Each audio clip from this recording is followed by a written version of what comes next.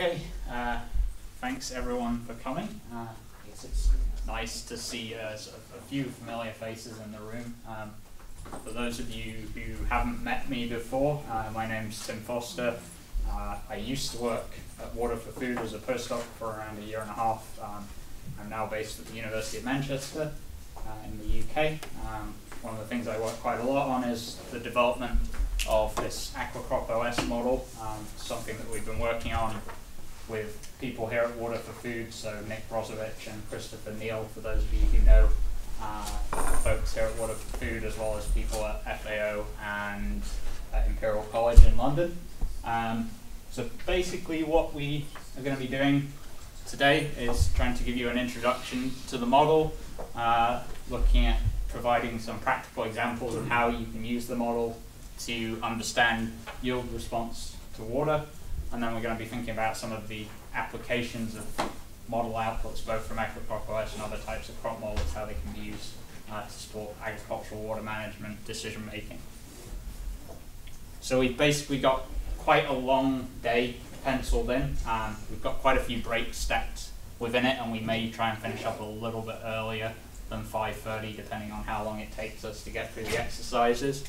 But what we're going to do for the first hour, hour and a half is just try and give you, we, we have limited time, so we're not going to be able to go into a huge amount of detail about specific equations and uh, specific aspects of the coding of the model, but just going to try and give you a really high level overview of what the model is, how it works, what some of the inputs are that you need, what some of the outputs are that it produces, and then go through a sequence of sort of three or four exercises to try and just get you using the model, um, again, really focusing on use of the model for quantifying uh, crop yield response to water.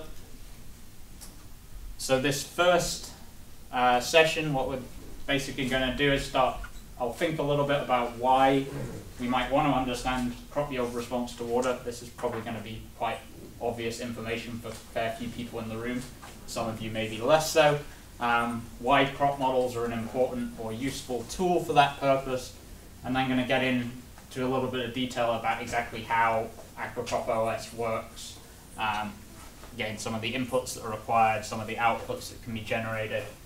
We then have a bunch of USB sticks here, which have a copy of the code on it, along with some other documentation and stuff um, that we hope you'll find useful. So we'll be giving those out and just doing a check that everyone's got a laptop, and if they've got a laptop that they've got whatever software they need to run the model set up, and if you haven't got a laptop, we have got a few spares um, that people can use at the back. Um, or if you have any problems getting the right software to get it working, we can help you with that. That's kind of what we're trying to get through in the first sort of hour, hour and a half. Um, I kind of like when I start thinking about crop modeling to particularly around thinking about yield response to water we start off thinking about the question of why why do we actually irrigate? Um, again, a blindingly obvious question, probably the majority of people in this room, but this data kind of nicely highlights the value that irrigation provides. So this is just data I pulled out of the NASS database, the USDA database, just showing irrigated corn yields in Chase County, which is in southwest Nebraska. Um, and basically the takeaway point is the difference between the blue line, which is irrigated crop yields, and the red line, which is dryland crop yields. So you can see that irrigation basically serves the purpose of allowing farmers to buffer production against year-to-year -year variability in rainfall and other types of weather conditions, and also just generally that in many parts of the world we're growing crops in semi-arid and arid conditions where there simply just isn't enough water available to meet uh, crop water requirements. We obviously have a big problem in many areas of the world in that we have growing problems of water scarcity, the placing significant constraints on agricultural production. So most people in this room are pretty familiar with a figure like that of the High Plains Aquifer on the left-hand side showing how much groundwater has been depleted over the past 50 or 60 years ago. So in the High Plains, some places like Texas, we're sort of at 75% depletion. It's obviously having big implications for irrigated agriculture. India is obviously another example.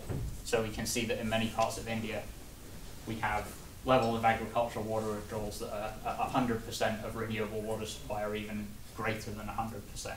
So those were just two examples that I pulled out, but we could really think about that in pretty much any country around the world where we have major irrigated agriculture, we tend to see problems of unsustainable water use, uh, which threatens future food security.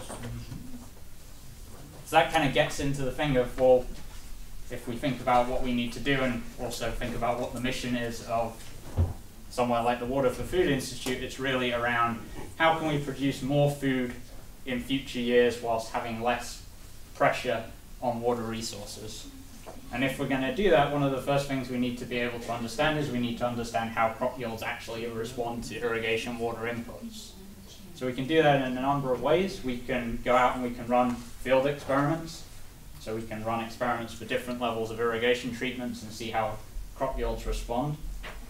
Problem is that takes us a very long time to do if we want to capture lots of climate conditions, lots of soil conditions, maybe lots of different crop types and irrigation treatments.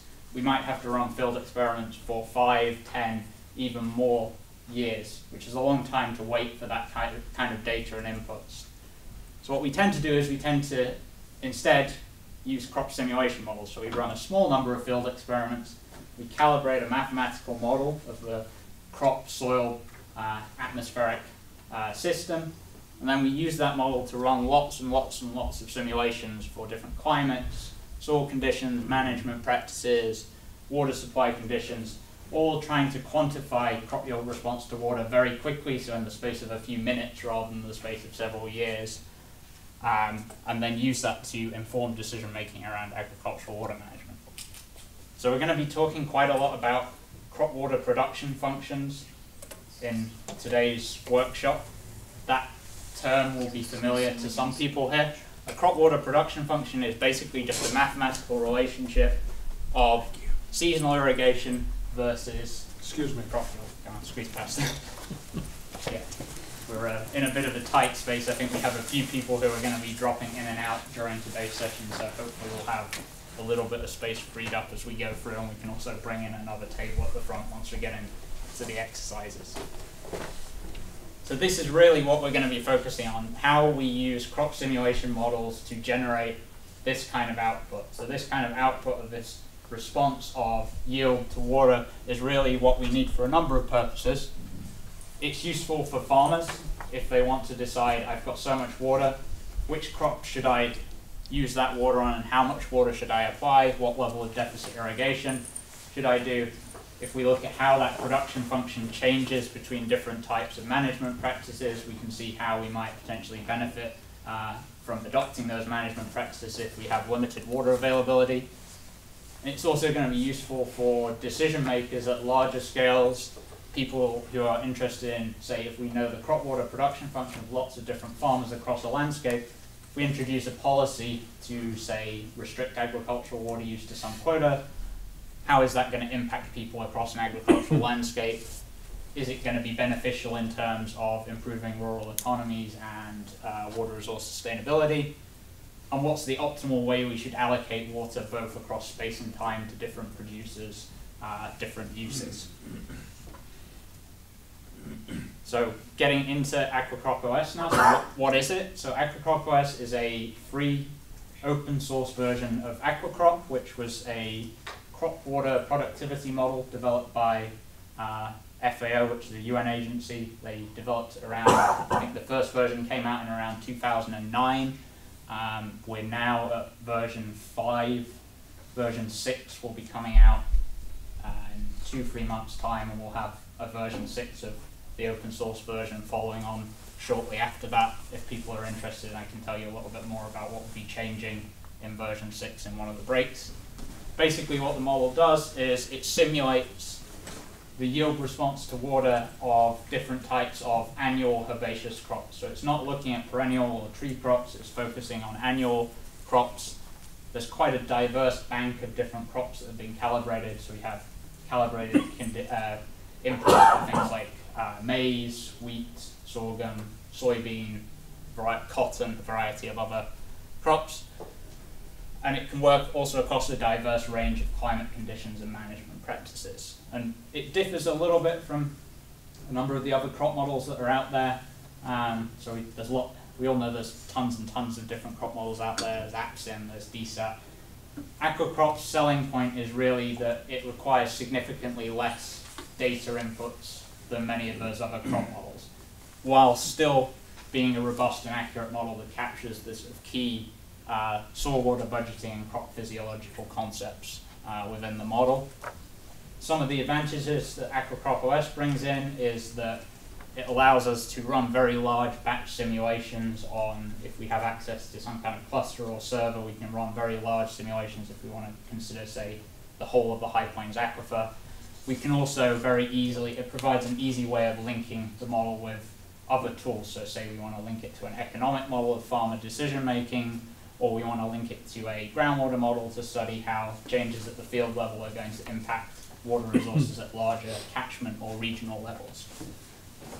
We'll be giving you a copy of the code. If you want to at some point, or need to at some point, download a, an additional version of it, you can basically just go to the website and you fill in a form, and then it will send an email to me, and then I will try and respond as quickly as I can to then send you the code. There's sometimes a bit of a lag depending on whether I'm traveling or uh, on holiday, which is a rare occurrence nowadays. But uh, so we've had we released the code back in sort of towards the end of August, early September last year. We've had nearly 300 people now download it um, from around 60 countries around the world. Uh, so we have quite a few users in Europe and uh, the United States, but also across places in Africa uh, and Asia as well. And then really what I want to spend the majority of this session talking about is exactly how the model works and what it does. So that I've thought about how really to distill what's a pretty long, complex set of code that goes on for several thousand lines into something that I could explain to people in 45 minutes or so. It really splits into four main steps. So we have how the model simulates crop growth and yield development when we have no water stress conditions. When there's lots of water in the soil and we don't have any limitations from water availability. We're then also simulating a separate soil water balance at the same time and then accounting for the feedbacks between that soil water balance and crop growth through water stress effects. And then the model is also considering another number of other types of environmental stresses like temperature and fertility and salinity that we'll get into in a bit more detail towards the end. I should say, please feel free to ask questions as we go along or at the end as you feel uh, would be preferred for you. So when we're talking about sort of non-limiting conditions, so when there's no water stress, there's no fertility stress, just how the crop would grow under perfect conditions, AquaCrop is basically dividing up the simulation into four main steps. So we're looking at crop development, crop transpiration, biomass production, and then yield formation. So we're going to go through each of those in turn. So the crop development part of AquaCrop is basically considering how the crop grows above ground, so how the canopy of the crop expands above ground, the production of biomass, and also how the root system develops below ground in the soil. So in terms of the canopy development, this is where AquaCrop diverges a little bit from a number of the other crop models that are in the literature. A lot of crop models use leaf area index as their way of modeling canopy development. AquaCrop doesn't actually use leaf area index. It models canopy cover in terms of green canopy cover. So green canopy cover is effectively hmm. the proportion of the soil surface covered by the canopy. So if we look down vertically, what proportion of the soil surface is shaded by the canopy over the unit ground surface. That number is going to vary from zero at the start of the season when the canopy cover, the crop is yet to be seeded and there's no canopy that's developed, up to a value of one if the canopy is fully closing over the soil conditions. And we'll see why that's important as we go through. I just pulled off these couple of images um, which are actually showing visual overheads of a corn crop at different points in its development. So we have here, canopy cover is probably around about 50%. Um, it's, I don't take that as an accurate number, that's just my estimation. And then probably around 90% on the right hand side. The main motivating factor towards going towards canopy cover rather than leaf area index was it's very easy to go out into the field and take an image like that and visually estimate canopy cover and also very easily estimate it from remote sensing as well. So it provides uh, a quick and accessible source of data for calibrating the model.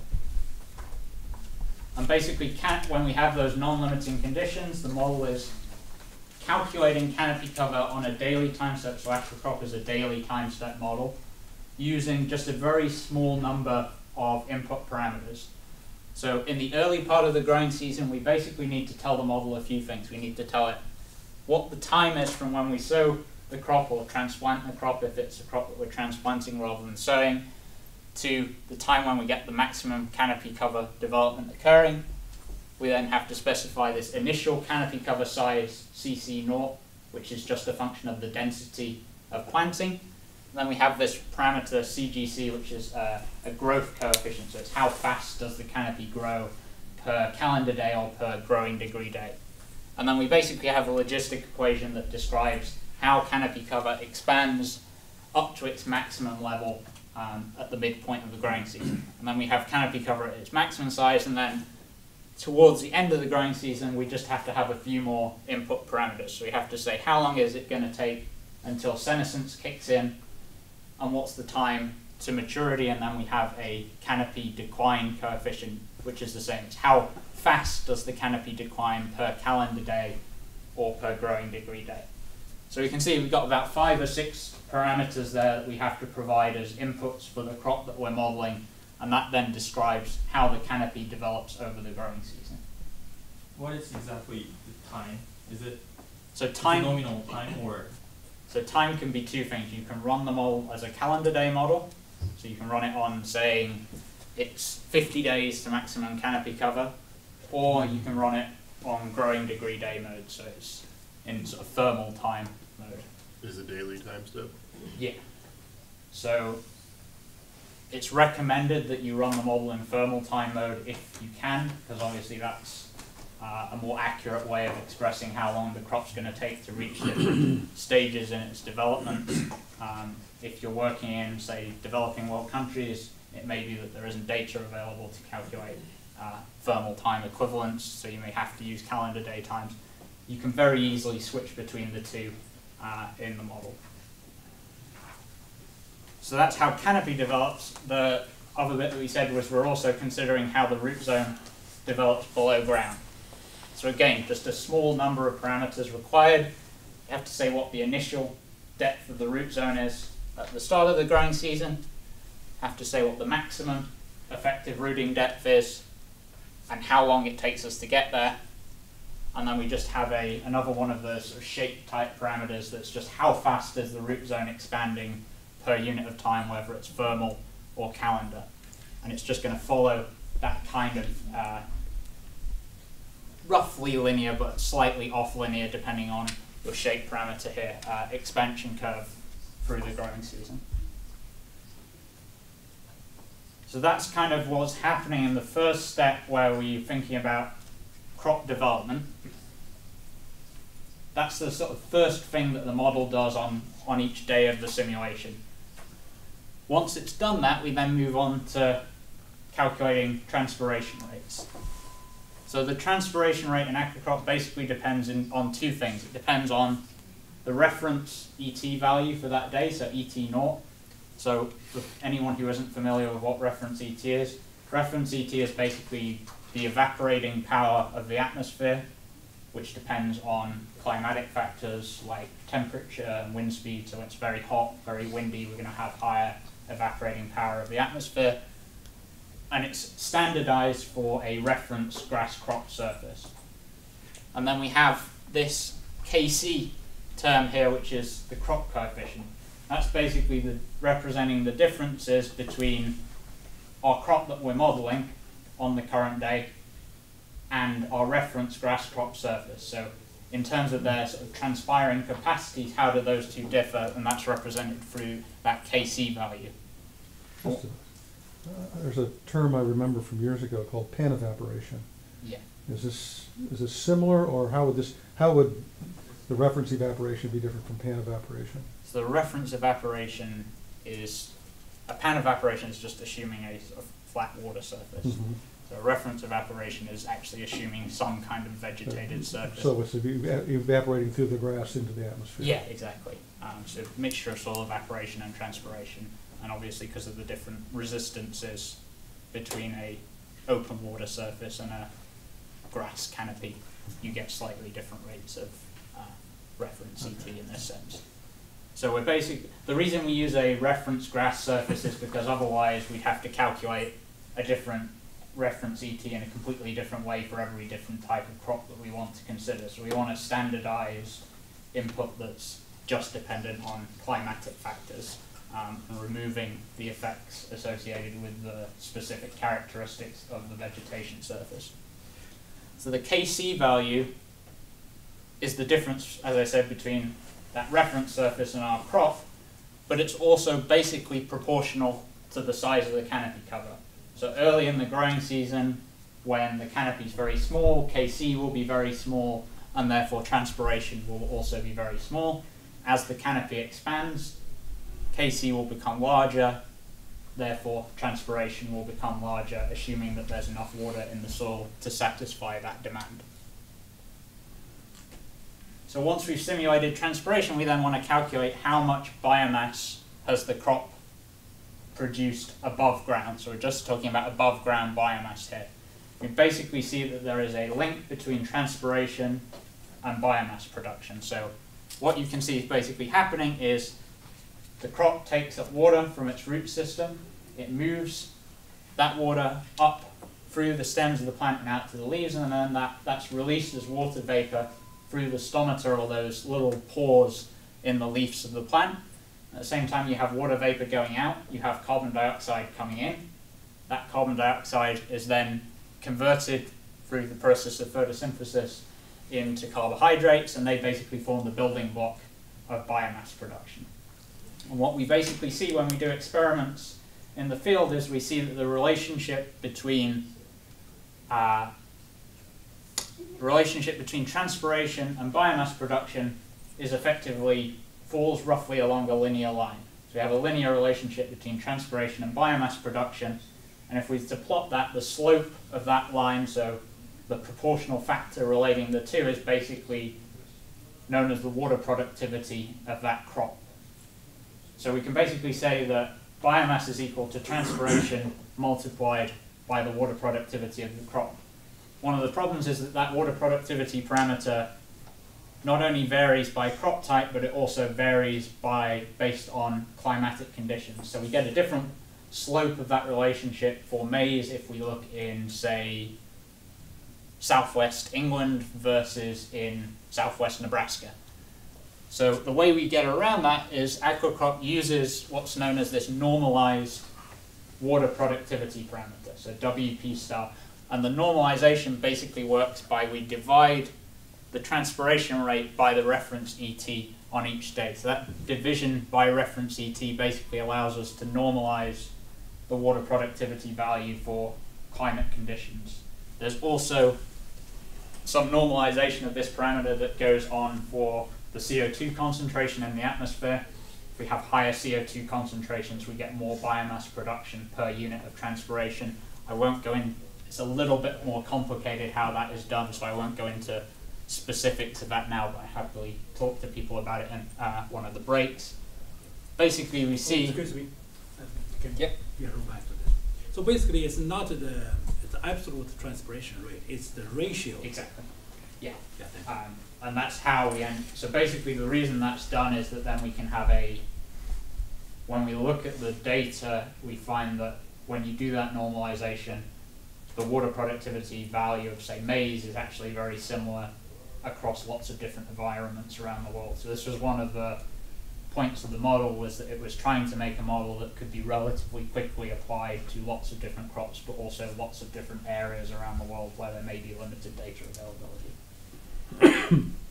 and what we basically find is that that water productivity value, the normalized one, you get it falling into roughly two main categories. So you have C3 type crops that are things like wheat, where we have a, tend to find a value of around between 15 and 20 grams per meter squared. And then we have C4 crops, which are things like maize, fall into that category. Uh, so we get this division between the two in terms of how easily those crops are able to convert uh, transpiration into biomass production. So and then I said that there was a sort of fourth and final step in the model. Obviously, our above ground biomass is all the above ground biomass is created. So the leaves, the stems, flowers, any grains that are forming if it's a grain crop. Only a proportion of that is stuff that we actually harvest and say if we're thinking about economic returns, we can actually sell for uh, a decent rate and gain income on. So we then need to convert that biomass production into our harvestable yield. So we do this using this harvest index parameter. So it's just simply the biomass production at the end of the growing season multiplied by this harvest index parameter. And this harvest index parameter basically evolves over the growing season, and the way it evolves is a little bit different depending on the type of crop that we're modeling. So the model is basically breaks crops down into three categories. So you have fruit or grain crops, so again maize would fall into that category, where at the start of flowering we start to see harvest index build up at a sort of lagged rate and then we eventually get a sort of linear increase over time and we're basically increasing to what's known as this reference harvest index value, which is again a, an input that we need to provide for the crop that we're modeling. For something like potatoes that are a root or tuber type crop, we have a sort of more logistic type curve that's used to model how harvest index develops over the growing season, and we're starting at tuber formation rather than at flowering for that type of crop. And then for leafy vegetable crops, so things like lettuce, um, we're again logistic type curve, but the harvest index is starting to build up right at the point that the crop starts to germinate, so it's not happening part way through the growing season.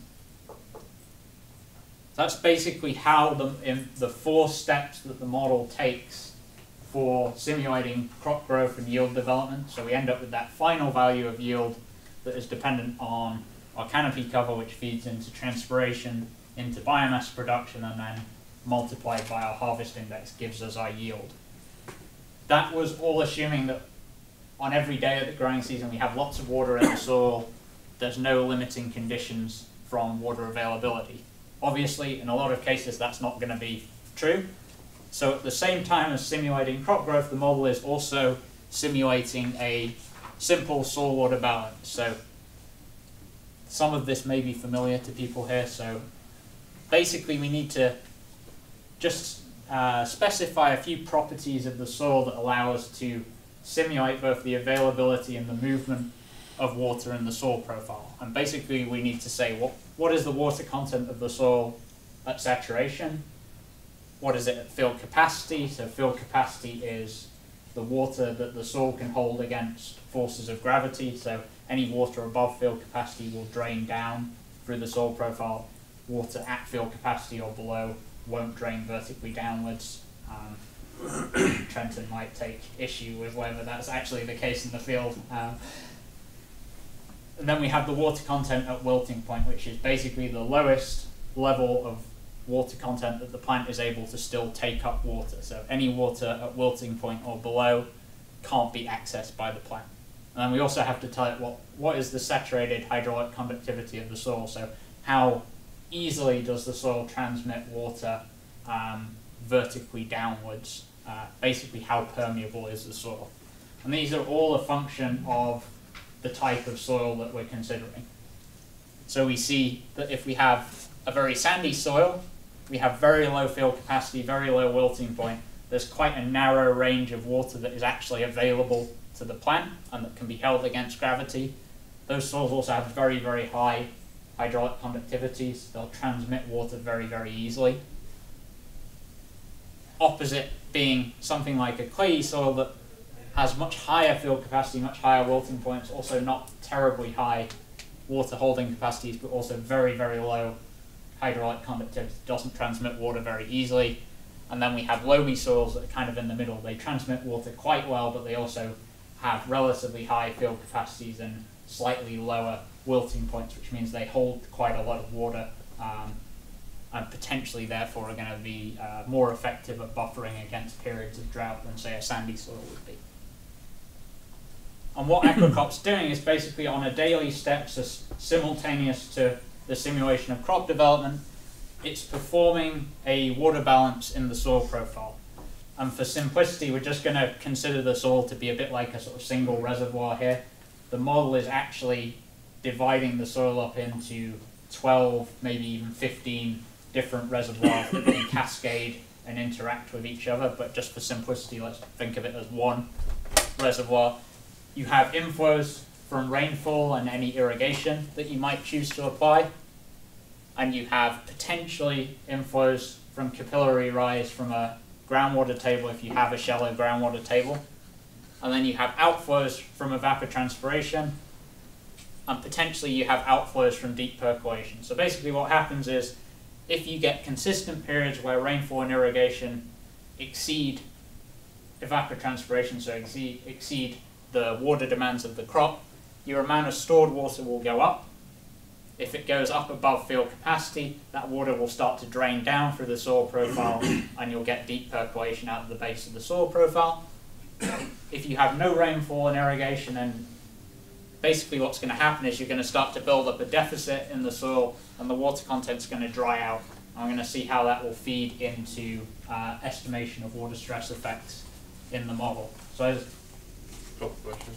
I guess, did you have a question? I did, uh, so the K theta relationship, is that linear? You didn't parameterize the shape of that. No, so it's not a Richards equation Right. type model. Um, so it's yeah, it's basically a single value, and then there is a equation that relates that to the water content, but it's not quite the same as a physics-based Richards equation model. Alright. Um, for those of you who do some soil water modeling, there are alternative approaches for model. This basically treats the soil as sort of a series of cascading reservoirs. You can also have a physically based approach that uses that models uh, soil water flow based on what's known as Richards equation. We are actually looking to develop a version of AquaCrop that gives you the option to either use a Richards equation approach that's similar to something like Hydrus, um, or this cascading reservoir approach that people can pick between the two different approaches.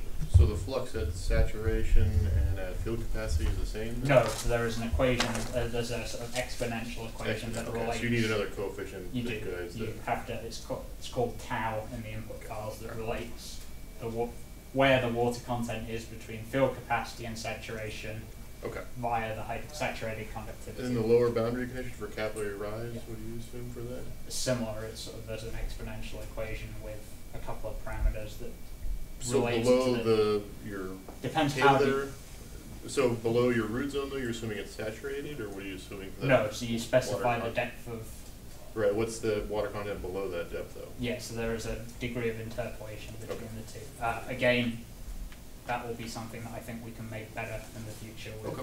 building in an actually physically based, uh, unsaturated flow model to that. So yeah, that's actually an important point. AquaCrop is not actually simulating changes in the groundwater table. You have to specify the depth of the groundwater table as an input, but with the open source code, one of the things that you can do is link the model to a groundwater model that would allow you to, on a daily time step, provide an updated value of the depth of the water table. And then there are two or three parameters that relate and interpolate that depth uh, in terms of the water content obviously being saturated at the water table and partially saturated at the base of the root zone. So that's how the model is dealing with the soil water balance. And we sort of saw that if we get outflows exceeding inflows, then we're going to get a deficit building up in the soil profile. And that deficit is basically what we use to decide whether there's water stress effects occurring and then relating those to uh, crop development. So the model basically has three main stress thresholds at which different types of crop development will be impacted by water stress. So if we get a deficit that builds up that drops below this initial threshold here, what basically starts to happen is that the model will start to slow if we're still in the early period of canopy development. So if the canopy hasn't reached its maximum size, at this point the model would start to slow down the rate of canopy expansion.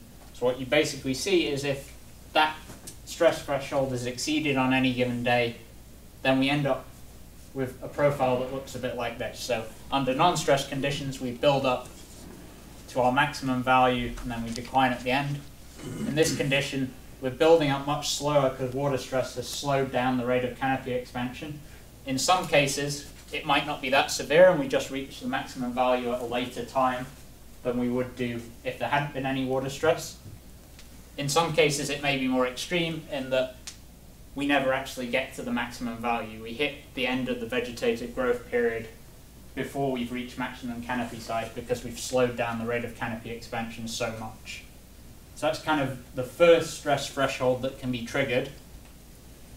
If we lower the water content in our root zone a little bit further, so we build up a larger deficit, the second thing that kicks in is closure, closure of the stomata, so closure of those pores on the leaves of the crop that control the outflow of water for transpiration. So you can kind of imagine what kind of effect this has. If we have non-stressed conditions, we're going to have our daily rate of transpiration varying because of the changes in reference ET, the changes in the size of the canopy.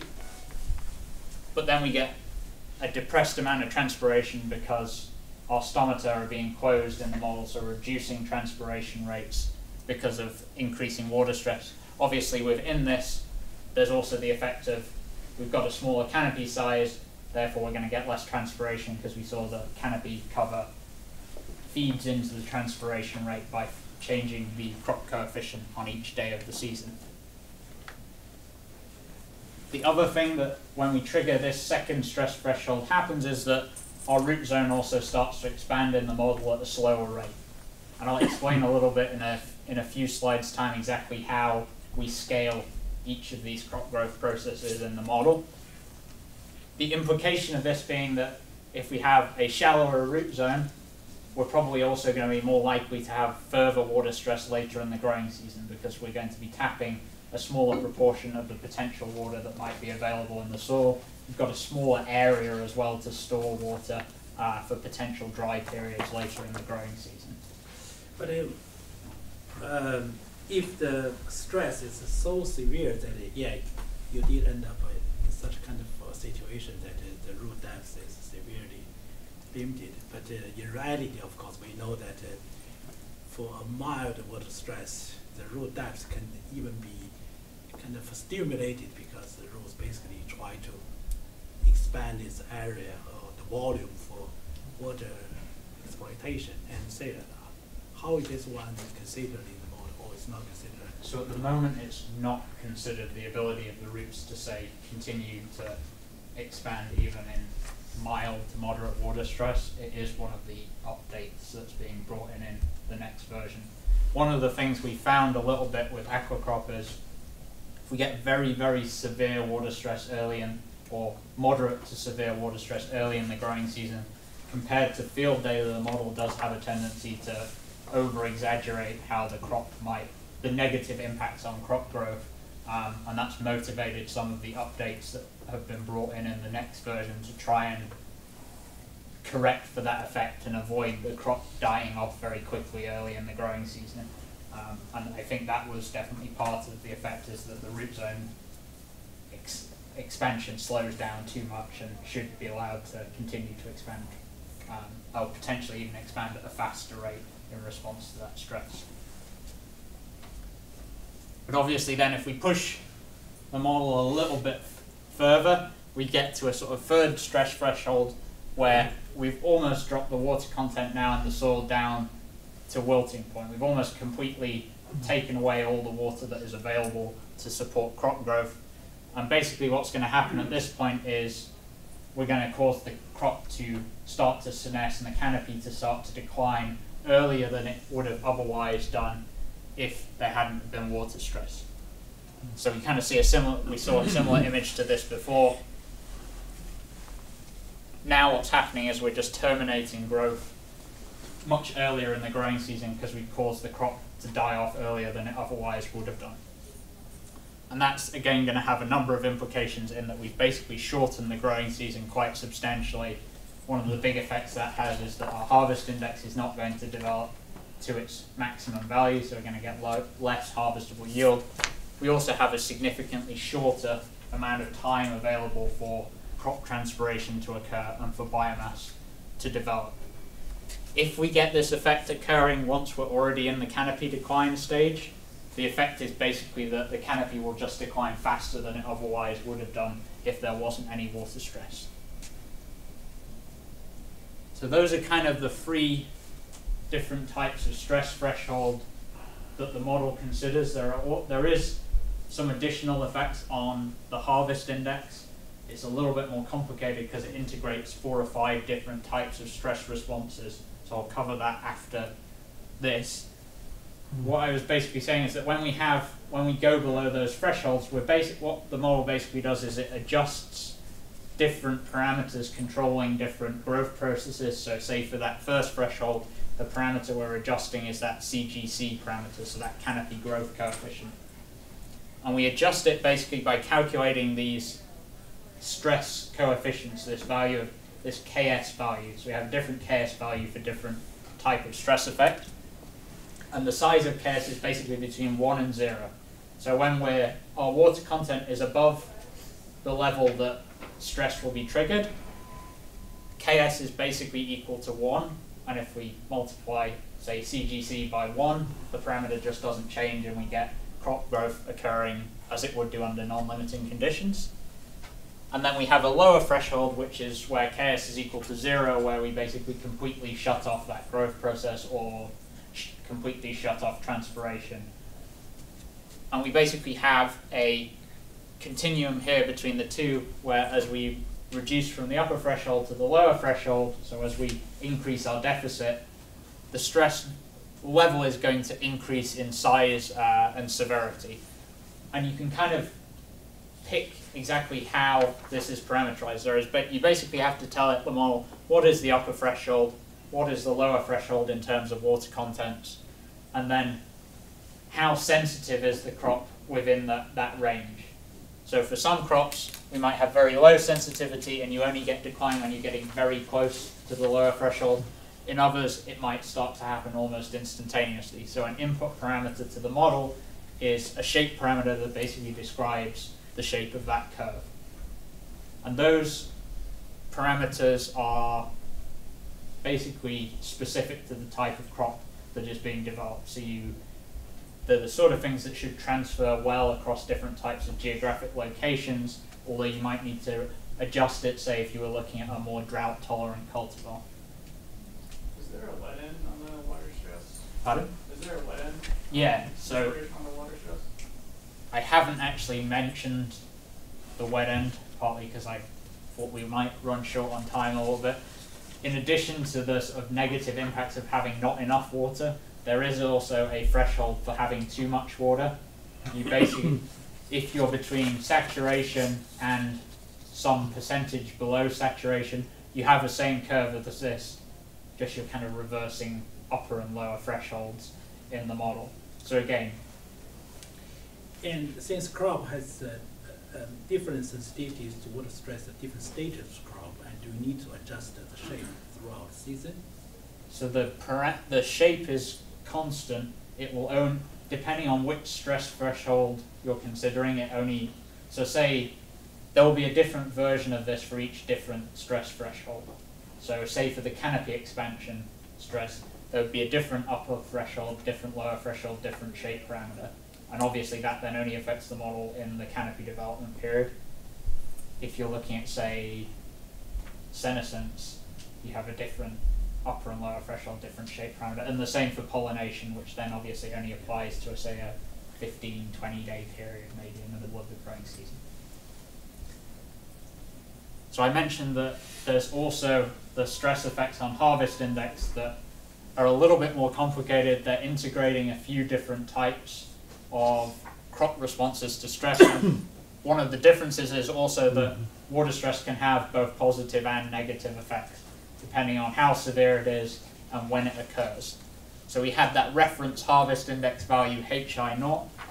We can increase above that. We can also decrease below that. And the reason for that is because there's quite a lot going on in this picture, but we're basically integrating all those different types of stress effects that we covered in the previous bits that I've talked about.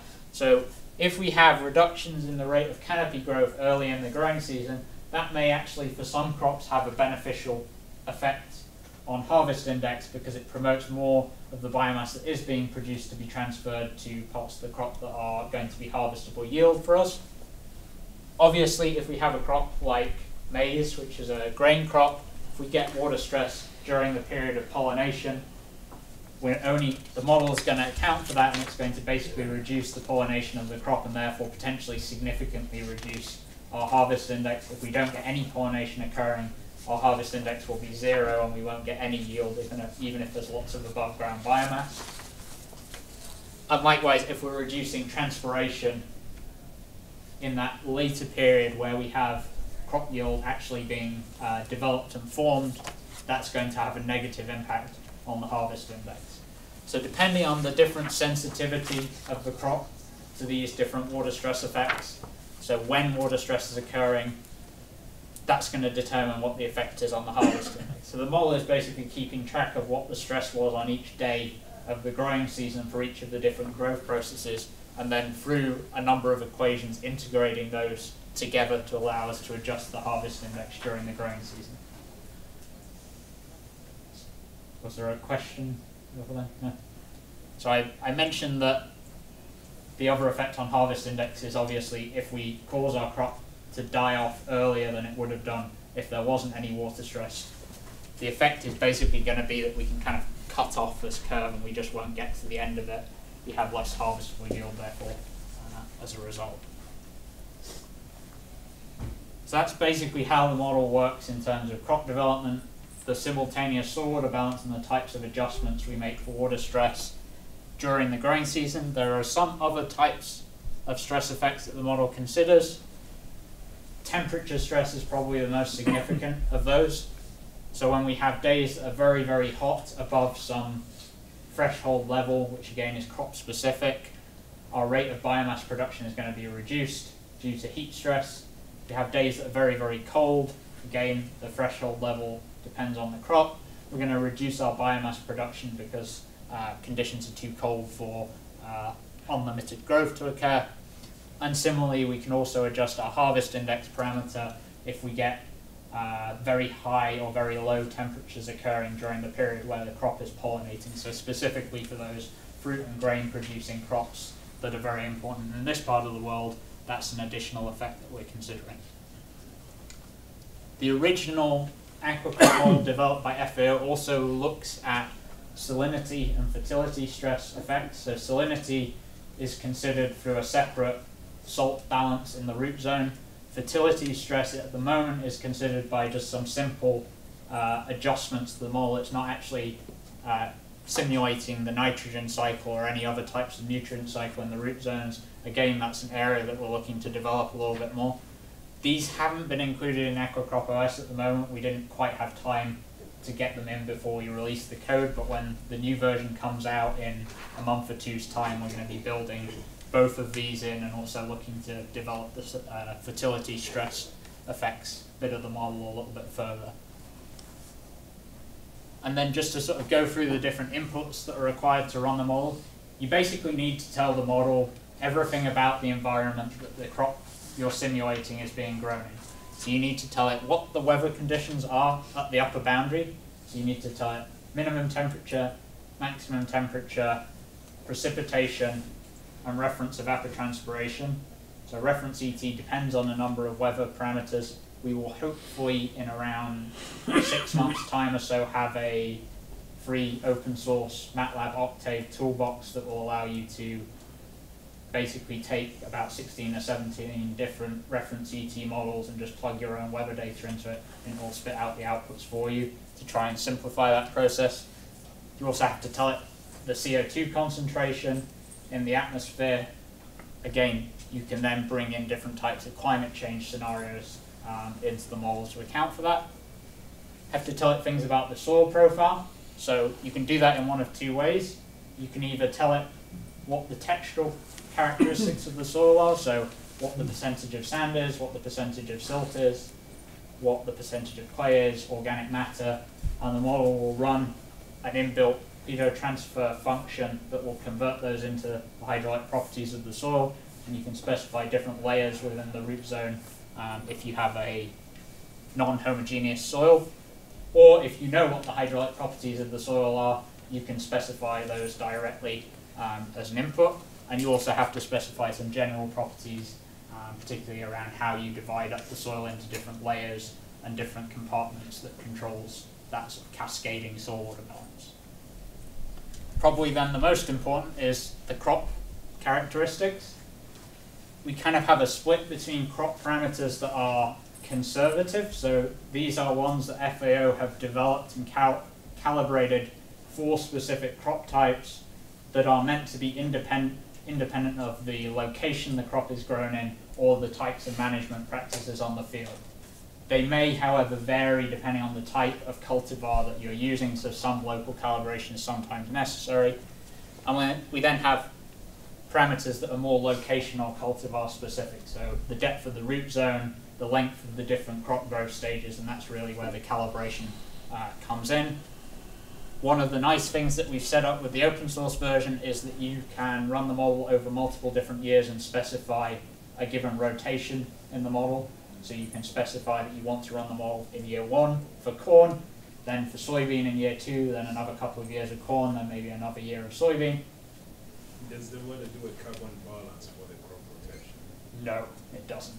So it's a water focused model, so I don't think a carbon balance is something that we're going to build in in the near future. I think that probably is beyond the scope of this model. Yes, question.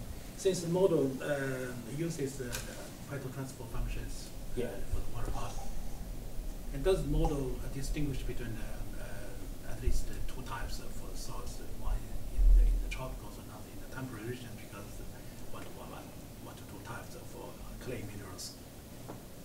Because of that, the, the, the hydrological properties are quite different between two types of soils, although they may have the same. Yeah, so at the moment, the pedo transfer model we use is the one that the USDA folks developed, so the Saxton and Rawls model. Um, my recommendation is that if that, if you know that that transfer function model is not applicable to the area of the world that you're working in, that you do the calculation outside the model and then provide it the hydraulic properties as inputs uh, to the model we could build in different types of pedo transfer model into the thing, but it's another input we have to set up and runs the risk that people get confused as to which one they're supposed to be using.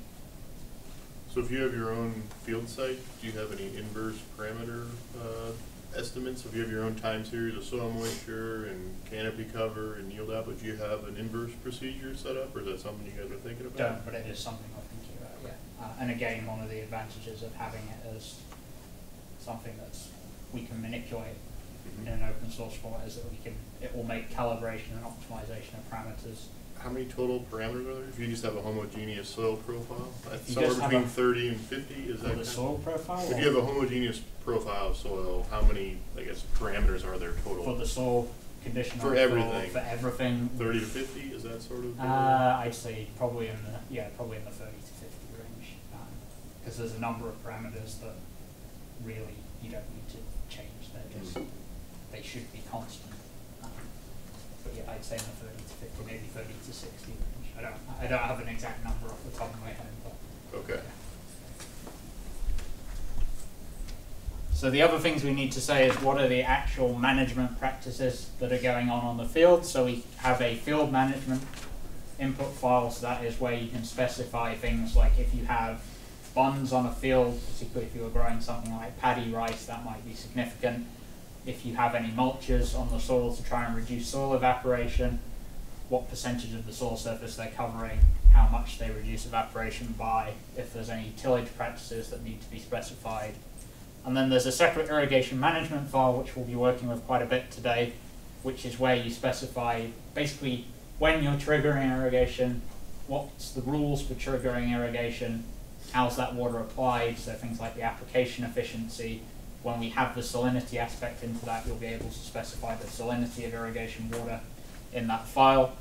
You'll see that there are basically three or four different ways of triggering irrigation in the model. You can do it based on the soil moisture level, and you can vary that trigger over the growing season to account for different sensitivities to soil moisture deficits.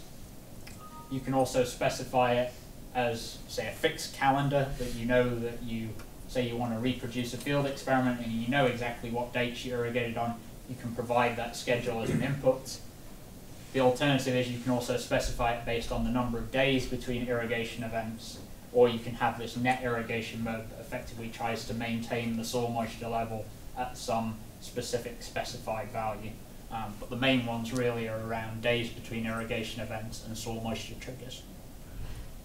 Then have to give initial conditions, so we can have soil water content at different points within the crop root zone, and also if we want to consider a groundwater table, what's the elevation of the groundwater table. It is possible to start the model running before the start of a growing season, so if you want to have a spin up period to get your initial water content at the start of the growing season from the model, you can actually start the model, say at the say the end of the growing season in the previous year and spin it up for six or seven months before you get to the start of the growing season. And then we just have some really simple files that are just around the setup of the model. So what, what calendar time do you want to start the model at? What calendar time do you want to end the model at?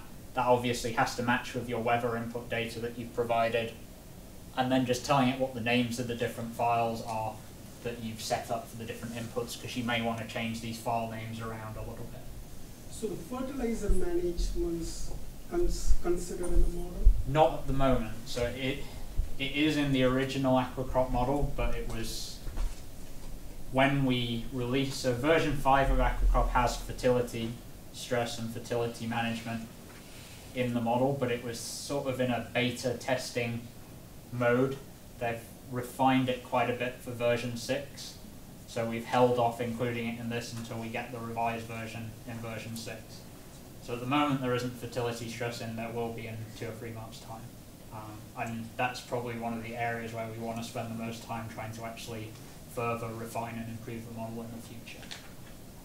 How about any disease or weeds? Weeds again will be included in the next version. That's weeds are a part of the update for version six. Uh, pests and disease are not not included. I don't anticipate us including those in the near future. Uh, runoff, you didn't really Oh yeah, sorry. I I should have said when I was talking about the soil water balance that the rainfall is the rainfall net of any surface runoff, which is calculated using just the standard curve number approach. Okay. Um, how do you generate runoff? Is that just lost it's the then system? just lost out of the field. One of the things that obviously you could do with this is that you could potentially, if you wanted to simulate at the subfield level, you could have lots of different models for different areas of the fields and have some a procedure that would allow you to pass the runoff from one area of the field to the next store model, so to speak. Um, or it could be fed into a hydrological model if you wanted to look at, say, how that then impacts stream flow at a catchment scale. So yeah, at the moment runoff is effectively assumed to be lost unless you've specified that there's some kind of bunds on the field to hold that water in place, at which point it's allowed to pond at the surface. Actually, but I will, I think about the, the runoff, I hope it's uh, kind of puzzled by this one. If you have a runoff from the leave, water leaving the field, but uh, if the field is in the middle of the slope, then uh, water may come from it. So how does that one uh, kind of, uh, Yeah, so because it's like most crop models, I Yeah, mean, yeah, yeah, uh, they're, they're point scale, so they tend to sort of treat the field as one entity. I think if you want to capture those dynamics, you have to have a distrib- you have to run the model in a distributed way over the field, and then actually have a procedure for calculating how that water flows over the field and infiltrates down into other neighbouring parts of the field. Um, but it's something that could be easily done. Um, you would basically take the runoff output and provide that runoff output as an input to a second AquaCrop that's of the next, I don't know what discretization you might want, 10 square meters um, to the right or to the left. Um, so that's one of the things that you can do with this version is that it does allow you to run lots of different versions of the model simultaneously to each other. What about irrigation runoff under flood? Can you, can you do the same thing? Yeah, so you can do the same thing with flood runoff. Um, you'd have to again have different. Uh, I think in terms of. you'd have to have a separate hydraulic model at the land surface that was calculating how the water flowed down through, say, a furrow um, from one end of the field to another. I mean, things like putting the soil bunds in as a management input is going to be important probably in uh, a flood irrigation system. Um, otherwise, you're obviously going to lose a lot of water to, Exactly. to run off, which may or may not happen in the real world depending on what they're doing with the tailwater. It happens. it does happen, yeah. So yeah, one of the inputs to the irrigation management routine is the application efficiency. Um, so that's another way that you can build in differences between irrigation type. And also specify the proportion of the soil surface that is actually wetted by irrigation to account for the fact that you may only wet part of the soil surface, particularly for something like drip irrigation. So that's basically the inputs that you have to provide the model. You then hit run, the model will basically spit out a number of outputs. It will basically spit out four files, three of which are daily output files, which basically say what the crop growth was at the end of each day of a simulation period. So that's how deep was the root zone, what was the size of the canopy cover, how many growing degree days accumulated on that day of the season, what would the canopy cover have been if there'd been no water stress, likewise with the root system, what's the biomass production, what's the harvest index, what's the yield. Then gives you the water content, and that's at every sing- both for the averaged over the root zone and also for every individual point within the soil profile. So you can you can divide up the soil profile as much as you like. You could have one centimeter thick compartments throughout the whole root zone if you wanted. Whether that's meaningful, it would also take a lot longer to run if you did that. Um, and then you have a sort of water fluxes file. So what was the runoff? What was the deep percolation? What was the irrigation rate? What was the soil evaporation and crop transpiration rates? So on and so on. And then probably the one that we'll really look at today is this sort of final output file, which is just telling you on each growing season that you simulated, because you can simulate more than one growing season in one run. What was the crop yield? What was the amount of irrigation water that would be, had been used? We will add some additional inputs, uh, outputs to that file as we develop the model a bit further. It also tells you what date the crop was planted on, what date it was harvested on, um, so on and so on. So that's kind of the overview of the model, how it works, what the inputs are and outputs are.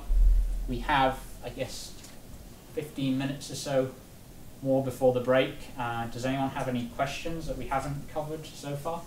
Um, I'm new to this area, so how extensive is the calibration across? how many crops, how many validations and so on? depends on the crop type. So certain crops have had a lot of testing. So maize has had a lot of testing, rice Like has had a lot of how much? Uh, maize, you're talking about probably 10, at least 10 plus sites in different areas of the world, and for each site, several years of field experiments. And there are lots of people independent of FAO who've done additional calibrations of the model, where, I mean, if you type in AquaCrop in the literature, you'll see there's lots of calibration papers um, and validation papers. Rice has also had a lot of calibration, wheat has had a lot, as has soybean, tomatoes has had quite a bit. And then there, there are a number of slightly more niche crops that are perhaps have been tested a lot, but only in one specific area of the world. So there's been quite a bit of work using the model for quinoa, but it's really been focused very heavily in a couple of countries in South America. Um, similarly, some smaller, less widespread crops in Africa, like teff, have had some calibration, but perhaps not enough yet. So when was this started, the aqua crop? So they released it in 2009. I mean, the development happened quite a lot, long time before that. Um, it was really designed as a. So for those who are familiar, there was the FAO 33, which was the Doorenbos and Kassam equation that was basically saying that yield is a function of the actual evapotranspiration divided by potential evapotranspiration multiplied by some ky value that was basically like the sensitivity of the crop to water deficits in different periods in the growth conditions. And they basically felt that they got to a point where that was really outdated compared to current knowledge. But there were also lots and lots of crop models around that, beyond the research community, were very hard for practitioners to use because they may be required 100, 200 parameters to be run, and extensive calibration, and often data to calibrate those parameters that simply wasn't available if you were, say, in the Ministry of Agriculture in Zambia and you wanted to calibrate your model for a specific type of local crop and you just didn't have the data to do that calibration. So that was really the motivation behind setting it up. So how do you compare this with the DSSAT model? In It's a very terms good- of parameters and in terms of the user community? I'd say definitely less parameters than DSSAT. I'd say the user community is a little bit more skewed towards uh, decision makers and practitioners than academic researchers. I'd say AquaCrop's quite split between academic researchers and people doing integrated modeling studies across bringing in, say, hydrology and economics, which is how we work mostly with it, and then, say, local ministries of agriculture, irrigation departments. One of the things I'd very much like to do is to do a multi-model, particularly for Nebraska. Um, I know there are people in the room who might be potentially interested in this, is to do a multi-model comparison of AquaCrop with DSSAT, with hybrid maize, um, maybe with APSIM as well, uh, particularly around the ability of the models to capture water stress effects um, on what the because that could tell us a lot about how well we can actually predict impact of water scarcity on agriculture and to what extent our model differences are perhaps more important than a lot of the other differences we consider. Is AquaCrop part of the AgMIP group? It is, yeah. So if they're still developing the AgMIP have a specific set of protocols that they want people to use for how the model integrates into that program. So they're still working to set up AquaCrop for that for that program, but it will be part of that, yes. Any other questions?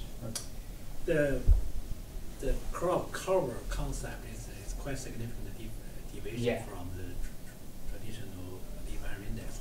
What's the justification of using that instead of uh, conventional area index? The justification uh, when the model was developed was that canopy cover is a easier thing to obtain data on to actually calibrate a model. You can literally take a camera and look visually down and get an image in a couple of seconds that allows you to have an input parameter. I'm I'm on the fence as to whether which of the two approaches actually works best.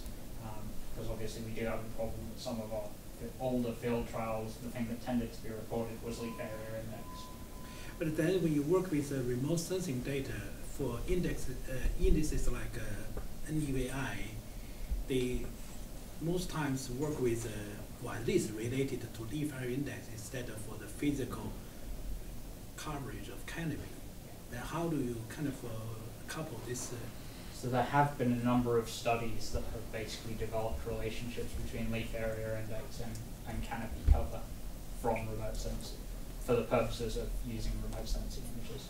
The original motivation there was really around the fact that the model was trying to get to particular practitioner communities at the field level rather than necessarily at large scale systems. It's become something that can be applied at that scale, but in that sense, the ability to take quick visual images was really the motivation behind the canopy cover aspect of it.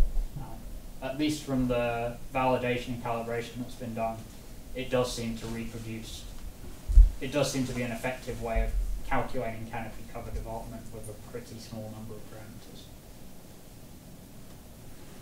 Any others? Move on. Oh, yes, we'll take, With take- respect to the canopy cover, is there any standard procedure for knowing these values? If I have a- If I have a new crop and I have to build all these parameter database from scratch, how do I know, is there a particular height where the camera must be, the resolution, or? Yeah, so of there the is some in the documentation, some guides given about exactly how you would take such an image. Um, so yeah, that's, some of that is included on the sticks that we'll hand out in a couple of minutes. Um, but I can also talk to you more about that in, in the break if you like. Uh, I believe you mentioned the word economics a Yeah. few minutes ago. I'm an economist. Uh, Where does that fit in here? So a lot of what we have done with the model, so I'm a hydrologist originally by training and I've done more and more economics over the years. Um, I guess Tara and Karina can vouch for the fact that I just about, I don't crucify the field too much. I just about get away with it. Um, a lot of what we do is taking the outputs from the models. so we build build the crop water production functions, feed those into economic models of Mm-hmm. Yeah. farmer decision making, use that to study questions like how should water be allocated, what are the potential Mhm. economic impacts of policies across a heterogeneous landscape. Lot focused on as you reduce potential irrigation rates as an aquifer depletes, what's the Right. lost value in production from that, and how does that differ compared to just simply the cost of pumping, Pumping the water water from and greater depths? maximizing that Yeah, pr- res- production yeah. response. I mean, production functions are a baseline input Mhm. to most Exactly. ag economic analysis, so that's really the link. Mhm. So what is the most sensitive parameter? What is, I guess, the least known parameter in the model, in your opinion? really depends on the production system that you're, that you're, so that you're looking- irrigated corn in Nebraska. We're talking about irrigated corn in Nebraska. Um, I'd say probably the root system is probably one of the ones that we know less about, and certainly a lot of the. And that's very sensitive in the yield estimate? Well, it's as well? quite yeah, it's quite sensitive because it affects exactly how much water is available to the crop and therefore how likely water stress is to be triggered in the model. And also, the root system is probably the hardest thing for us to actually calibrate because you can't get easy information about how deep the root system is, what the potential extraction rates were at different depths. Whereas canopy cover, you can observe canopy cover. Mhm. Biomass, you can harvest a chunk of the field and you can calculate the biomass level, getting a value of root depth and root system development to then feed in as a calibration is much, much harder. So when you calibrate a specific site, can you, can you talk about how, like, are you just calibrating it to uh, yield or soil water content profile or? Ideally, as much as is available. So what Um, does the objective function look like then for multi-observation, you know, The objective function would really probably be trying to re- reproduce biomass. Okay, the yield. time series of biomass is your Yeah. main. Time series of biomass and then probably final yield at the end of the growing season. Okay, Um, if you have soil water content measurements as well, that can be fed in, although I think the majority of the studies that are done tend to focus on what's happening above ground and less on below ground.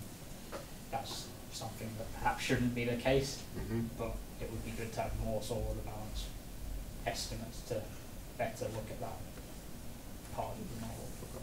Certainly, again, something we want to do when we add, when we try and look at alternative soil water balance model. It's that, that cover. yeah, I mean, there's a couple nice MATLAB options out there. Yeah, so- Jasper Vrugt, he has uh, Dream, which is a nice, uh, Yeah. large-scale parameter estimator, and Sobol, which Yeah, is a so sensitivity analysis. Those two things are nicely. Yeah, MATLAB having, bringing in some of the MATLAB functionality around, at the moment, if you went to the original model, you basically just have to turn a knob, run the model, does it do a bit better, turn another knob, run the model, do a bit better, but this gives us a way of connecting to an actual parameter optimization and search space analysis. Mhm. Can you run uh, the old version in a batch mode?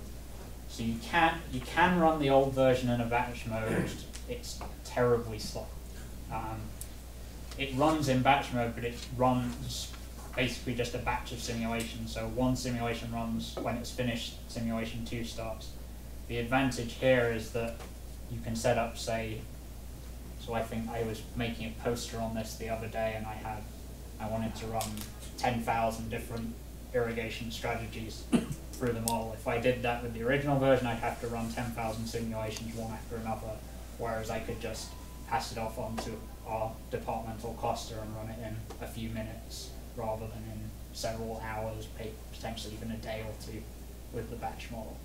So if you have access to the ability to run it on either on different clusters of a, a different cores of a single computer or on a large cluster, then you can significantly reduce run times if you wanted to look at lots of climate scenarios, lots of irrigation management practices. Maybe you want to simulate production for the whole of the High Plains aquifer with gridded climate data and soil conditions. That's going to be much quicker if you can pass it on to a server. You also mentioned uh, CO2 concentration is one of the things that people can play with. And we also know that the, uh, the effect of CO2 on C3 plants and C4 plants uh, are different. How does the model treat the effect internally? Yeah, so there's a parameter in the model that you can adjust to account to basically scale the effect of CO2 concentration on the water productivity parameter, and that value does differ between C3 and C4 crops. Again, that's an area where it's very hard to calibrate that. We have some experimental data, but we're also not sure whether the experimental data is actually an accurate reflection of what will happen in an open atmosphere system as well. So one more question at the back. In respect to yield, it's been shown in so many researches that there is this effect of partial zone drying, which is a type of deficit mm-hmm. irrigation mm-hmm. on what happens on the root zone with respect to abscisic acid, which causes the partial, it's a lot of complex stuff. But it's been discovered that it performs better than the normal deficit irrigation. Mm-hmm. So is there any hope that in the future you might probably have a new version which considers all this partial zone drying, not just limiting the water and the water, general water stress, which is just coming below the normal field capacity, and what actually happens on the root zone with respect to this um, partial closure of the stomata? Potentially, yeah. I mean, one of I think one of the things that we're kind of hoping, I think, a little bit with this is that unlike the original model where you have to go into a user interface and you just provide the inputs and hit run, this you actually have the code. So if you had some experimental data and you wanted to develop a new routine that builds a bit more complexity into the soil water balance, you could go and write a new routine into the model and incorporate it and then do the testing and hopefully then write a paper and show everyone the results showing how it's uh, had a beneficial effect on models' ability to predict water stress effects. So we're hoping this will kind of open up not just for us to do new things with the model, but for other people to add new things in and test it against their own field data to see what makes an improvement, what has no effect. Sometimes it might even make the model worse. Um, so yeah, we're basically providing it as a way of people giving people more flexibility to do what they want to do with the model. Can you use it to predict the crop growth in a greenhouse? How good it is? You could do, yes. I can't say I've tried. I'm not actually aware of many papers that have tried either.